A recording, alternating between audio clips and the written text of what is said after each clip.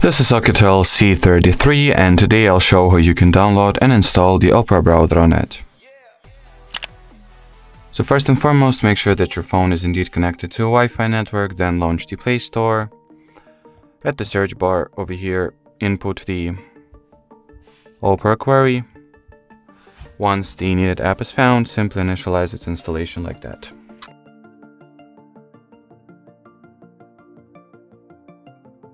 Launch the app once it is ready, and when you open Opera for the first time, it will need to perform a very simple setup procedure. So, first tap at the blue continue button, then decide if you would like to enable notifications for Opera app or perhaps set it as your default browser app.